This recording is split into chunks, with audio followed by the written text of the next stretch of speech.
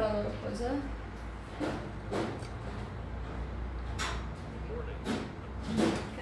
This is your mission should you choose to accept it. Should you or any member of your parte- IM force be caught or killed, the Secretary will disavow all knowledge of your actions. Ethan Hunt will be your point man as usual. Good luck. Grazie, non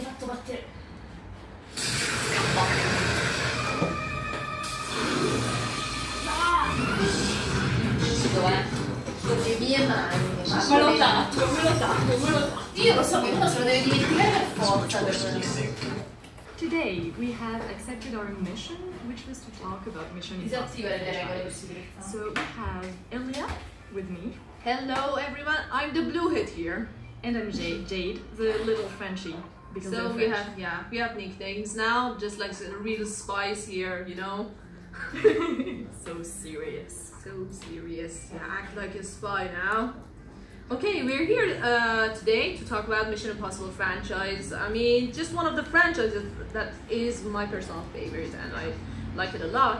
Um, uh, except from, I mean, have you seen James Bond? James Bond I've liked it. I've liked it. Yeah, they're the most famous action franchise ever. So we will also talk about James Bond as well, but we won't promise you when. It must be secret. It's a secret mission. Yes. so let's just start it.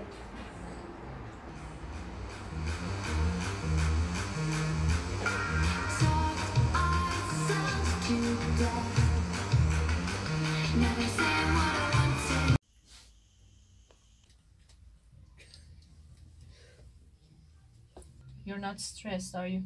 I'm I'm getting a bit stressed just before talking, but then when I start talking, it's fine. Which is totally stupid. I know. I just have to start talking, so that's why. Yeah, my hands are like wet. Like that- that- that. same! It's awful. I hate it. I'm like they're cold, like half cold, half warm. It's awful. It's terrible. Just so weird to listen to your own voice so loud in your own ears. It's so weird. That's the only weird thing about it. Okay, and don't forget about the thing here, okay? Yeah. Just maybe you can wave as well. No, I don't know. when, when do you want to finish your talking? That's time. Okay. The music doesn't really match the theme, you know. No, hmm? The music really doesn't match. Totally not. No. it sounds like a corny movie music. no. Okay. So, to begin with, uh, we will start talking about Mission Impossible franchise, talking about the action movie genre. So, some consideration first. Awesome. So, what is action movie? For in first place, I mean everyone should know. Uh, the basic info about an action movie Well, it's a film genre, obviously, which the protagonist or protagonists are thrust uh, into a series of uh, challenges that typically include violence, fighting uh, scenes, and physical feats and frantic chases. That and these types of movies uh, tend to feature uh, resourceful heroes struggling against incredible odds, uh, which include life-threatening situations, a villain, or a pursuit which generally concludes in victory for the hero, and sometimes really not that much victory for the hero also. So yeah, Yeah, there are very few action movies with actually the villain willing, willing because it doesn't match with the, the expectations of the public. yeah. But so the genre, the genre, sorry, began to develop in the 70s because it was like an increasing demand and we had like those stunts and special effect, effects arriving, but it was so expensive at the time. I mean, you needed like 5, 10, 15 people to just make one scene.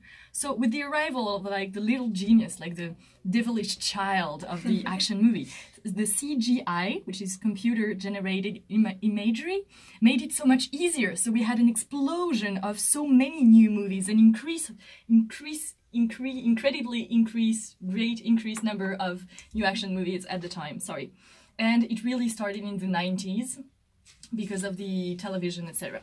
So it's closely associated with so many different genres. We have thriller, we have mm-hmm. adventures, we have fantastic, etc.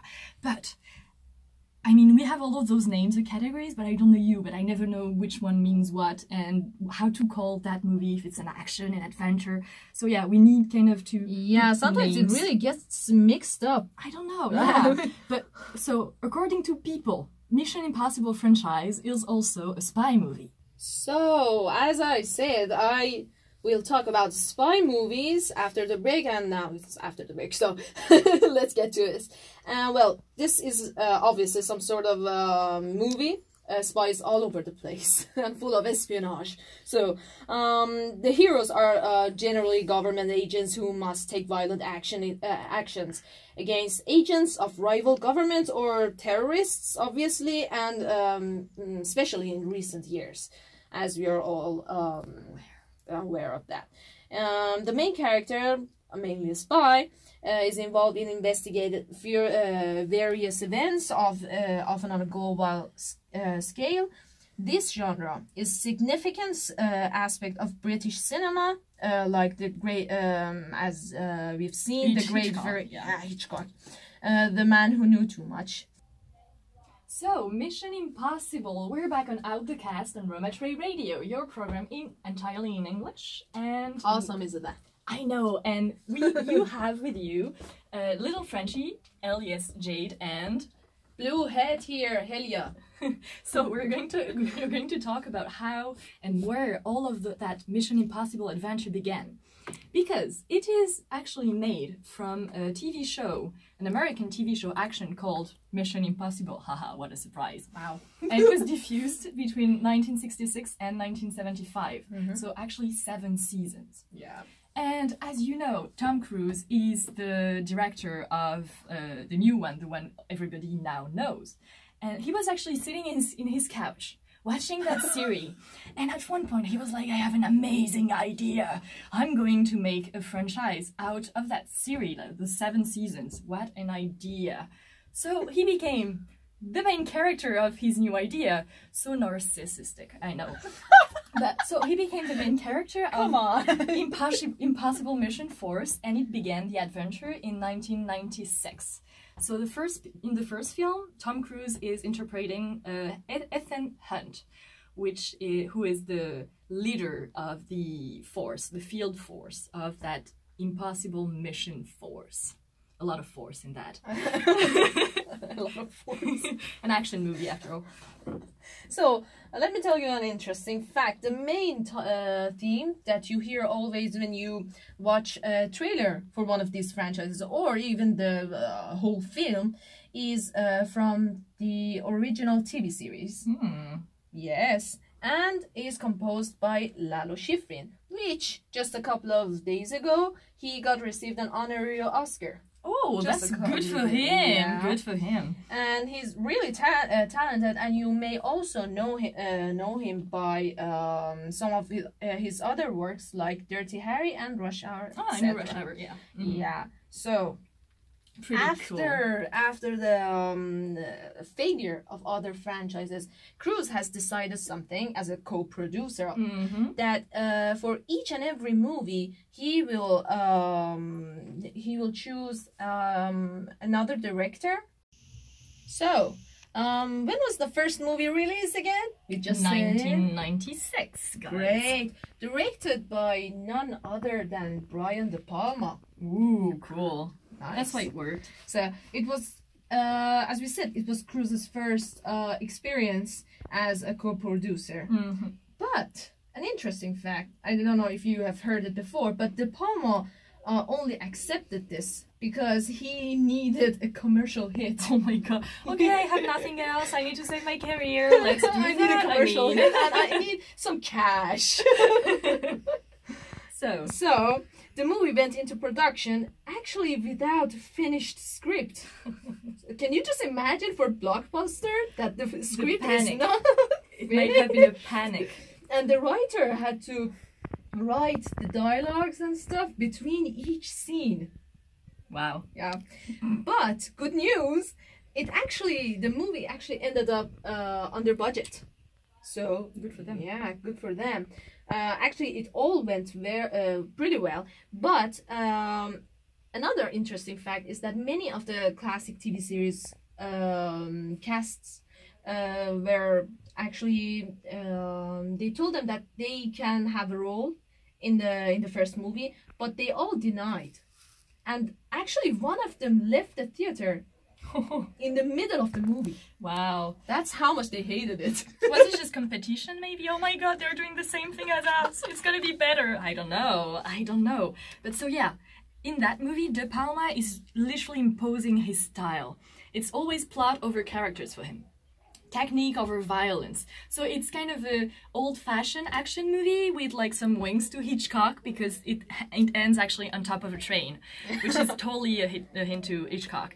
And it be it be it starts uh, at a ball at a ball in an embassy. Yeah. So it's like very old-style espionage movie with Yeah, like nice dresses, hot girls, hot guys, nice Yes. music, and a ball.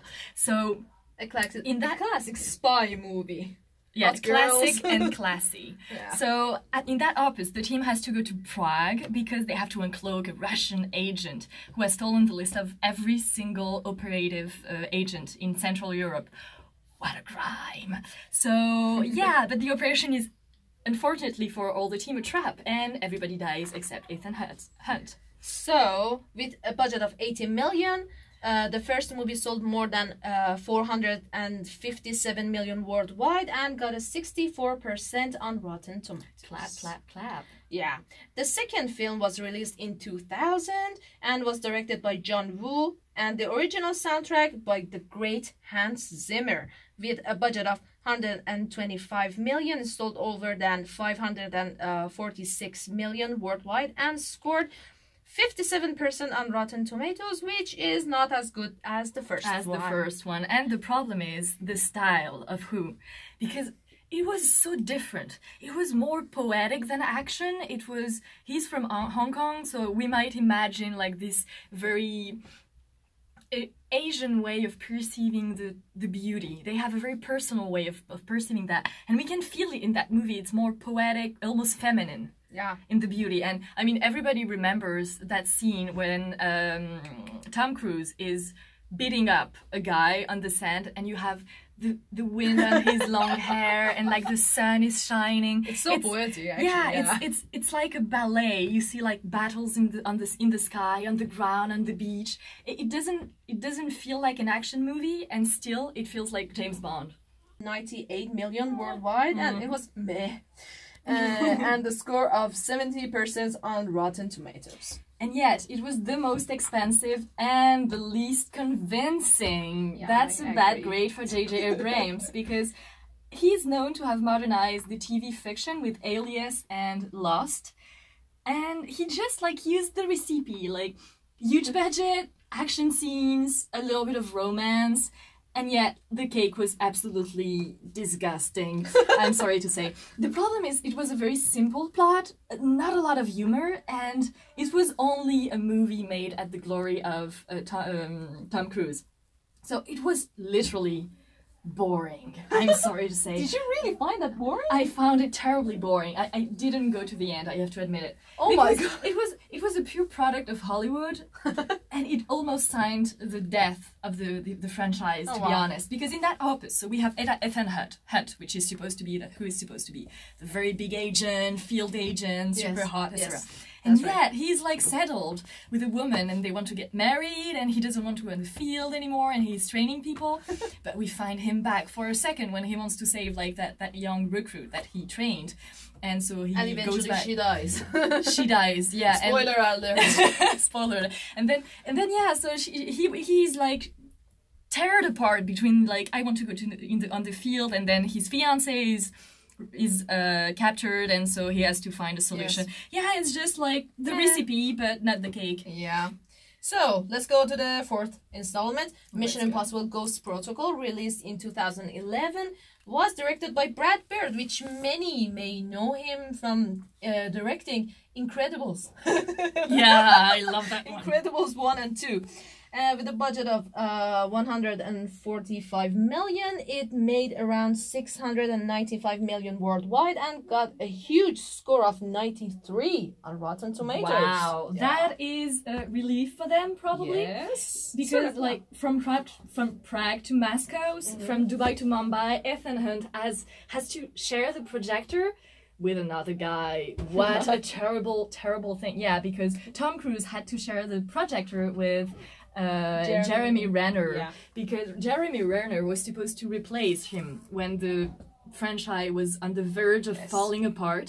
They wanted to uh, replace Tom Cruise, but then he eventually he succeeded in keeping his spot. Oh yeah, it's actually Tom Cruise's franchise. Let's say that finally Mission Impossible is back. I know, I mean, right? we've, we've been expecting that for years. it's just just enough of Hitchcock, just Yes. enough of classical movie style, and the rest literally filled with with action and action scenes and impressive footage and of course risk. It was a successful cocktail for them. Just enough of artistic Mm-hmm. and commercial. That opus literally signed the revival of the franchise. The plot is that agents are literally left uh, on their own in enemy territory and chase, and they decide to chase um, ghost organization. Wow. The intrigue is ba- uh, based on the plot of the the plot theory. Oh my god, there is a plot theory, which is very, very, very uh, spread in America, of course. So finally, finally, finally, finally, Mission Impossible Fallout, the latest uh, installment, came out just this summer, about July, I guess. Was directed by Christopher McQuarrie, making him the first di- uh, director to come back for the se- uh, for second time. Maybe Tom Cruise has decided that his first strategy was not the best. Yeah, maybe. But Christopher McQuarrie really did well I because know. Um, my personal opinion is that this last one was the best. I mean, it was action packed, and I loved it.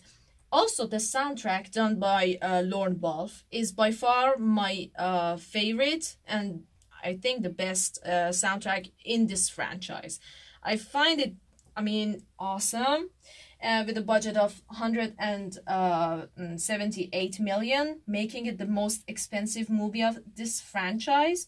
And one of his reasons is that Tom Cruise, in, in an incident which uh, blew the internet, uh, broke his ankle. Oh my god, Yes. that's what happens when you're not a professional in cascades. So it cost uh, the production team and the insurance team cost many, many dollars. Too much, actually. Yeah. Okay, we still had two minutes. Two seconds. No, two minutes. No, it was there. It was about three minutes. Yeah. Yeah, we reached three uh, three minutes. So Three minutes. Okay. But you finished. no, we had to wrap it up. I saw the time. We can just, yeah, we can just skip that. The No, one. we can talk about this still because I haven't talked about from here. Yeah. Made this much and this on Rotten Tomatoes. And then I have to talk about my own things. Yes, this is yours. Yeah. And And then not the casting. We won't talk about the casting. Okay. We'll get to here. Interesting facts. Because these are awesome to talk I agree. about them. I agree. Let's just leave casting behind. Okay.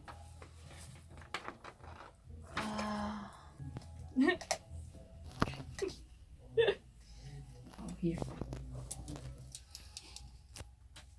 Obviously, my opinion is the same. So, Okay. what do you think about it? Well, I've read some critics, and it was not the best in the sense that where is the the humor gone? It was so serious. Yeah, it was so serious. dark. I mean, we had the action, we had like mm. chasing cars, spectacular special effects and cascade cascades, mm. but yeah, the background background background. Sorry, Yes. I will I will I will made it. But it felt like the end in the sense that it was like the last James Bond, super dark, Yes. not humorous at all, and just just an action movie for an action movie, according to me and according to many critics. So that's what I've heard. That's what I can tell you. I mean, my personal opinion is that it was magnific- magnificent in the sense of special effects because we have the means today to do like amazing things with it. But the plot itself was disappointing. the plot was really simple. Yes, I agree with. I totally agree with that. Mm. Uh, what I see uh, that makes it by far the best one in the franchise, it's the um, the technical aspect of it, Mm. the soundtrack, the uh, the cinematography, the Yeah. editing. I loved everything, uh, all of this about Mhm. it. But yes, the plot was really Yeah. That's what I disliked, I must admit. simple. But it's interesting that the series has received, uh, in general, a positive reception from the critics and is actually the 16th uh, highest grossing film series of all time. Which is amazing. yes, with a worldwide uh, gross of over uh, 3.5 billion dollars. wow. Just imagine that much cash. I mean, mission mission accomplished for them. totally, Literally. totally. So, did you know that? Um, I didn't tell me. Actually, in the first movie, there was not even a single shootout. Not even a single one. Wow, for an action movie, it's For- impressive. yes, and uh, Cruise didn't actually shoot. He uh, he held a gun, but he didn't shoot. Nah, that's not. It, it takes it takes away all the fun part about like like being in an, in an action movie. But it's me. an art to make an action film without shootouts. I agree, but it was the old fashioned. They had that style, that class. they were classy somehow. But so to talk about something else that I didn't know, the iconic scene which everybody knows about when Cruise is dropping from the ceiling in the first movie is actually inspired from a classic movie from the 1964 uh, named Topkapi. Yes. Don't try to write it; the spelling is terrible. and in, in, so in that movie, a group of thieves is, has actually decided to use and write to steal a, a jewel from a Turkish Turkish museum, and the room was inspired by Kubrick in 1968. In 2001, A Space Odyssey.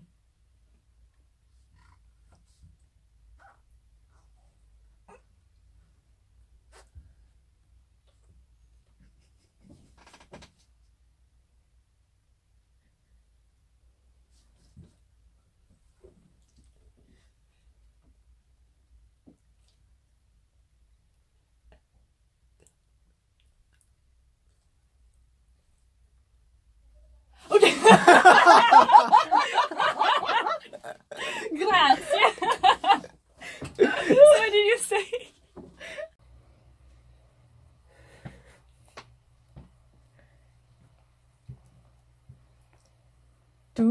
Do, do, do, do. Okay, I'm a terrible singer. I will, I will just speak and not try to, to sing. It's a bad idea. So, to, to continue in our uh, iconic moments of that franchise, the iconic scene with Cruise uh, on the second opus, which is uh, fighting on the beach. Yes. He actually asked the guide to enter like a real fight because he wanted it to, to be real.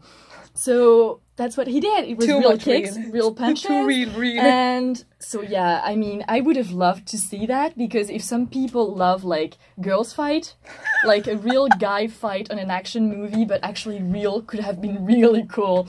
But whatever.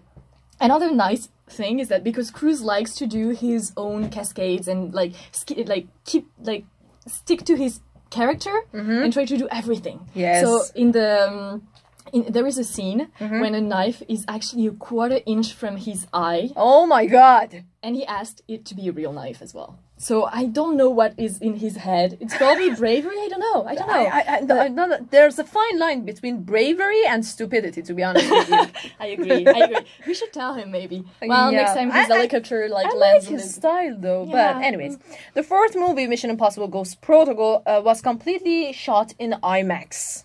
Hmm. And director Brad Bird actually asked uh, the experiences of Christopher Nolan's uh, The Dark Knight crew and um, consulted with the uh, with their team because they're Hi the guys, I, I must know how to how do you How to use your use computer because I IMAX. don't know. So yeah, th- he really needed their experience because the guy Christopher Nolan is The best. known for uh his using IMAX things stuff. His Uh, mastery. yeah. So all right, everybody, what you just heard before just we start talking was the latest Mission Impossible trailer, which uh, I mean, in my opinion, is the best trailer of this year, 2018. I loved it a lot. Anyways, this is all the time we've got to talk about Mission Impossible franchise. Hope you loved this uh, our show. Yeah, yeah, I mean, it- it was interesting. I think I- it's mission. I can. I can. I think we can say it's mission accomplished. I, I think we can say that. We can totally say that. So Yeah. So I'm looking forward for our next mission now. Don't forget to listen to our podcast uh, on the website and Spotify and Mixcloud, and you can follow us also uh, on Instagram, Twitter, Facebook, uh, everything. We have everything. so We're spies after all. we have to have a media cover. yeah, so let's just go and see you, hear you, whatever, next time. next Wednesday. Next Wednesday. Three. three.